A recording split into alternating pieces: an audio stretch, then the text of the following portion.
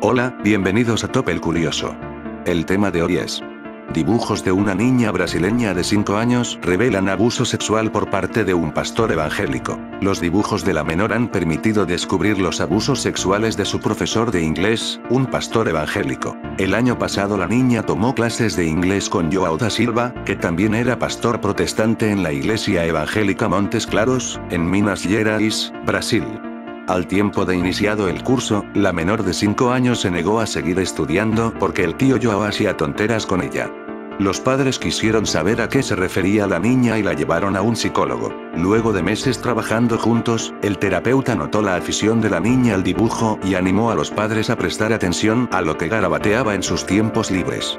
Fue así que descubrieron el abuso sexual perpetrado.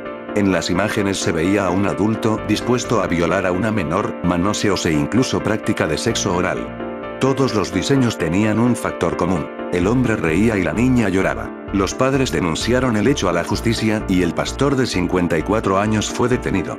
Da Silva asegura ser inocente. El dibujo muestra con una brutal sinceridad la condición psicológica por la que pasaba esta niña al momento de dibujar y que se registró en forma de trazo gestual que habla sobre lo traumatizante de su experiencia. Curioso o no nos vemos en el siguiente vídeo, da like, comenta, comparte y suscríbete. Hasta la próxima.